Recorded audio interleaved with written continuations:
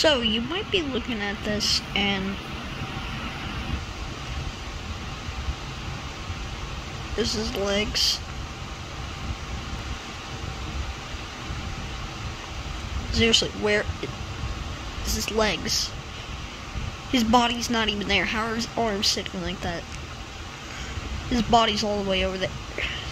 So how are his hands right here?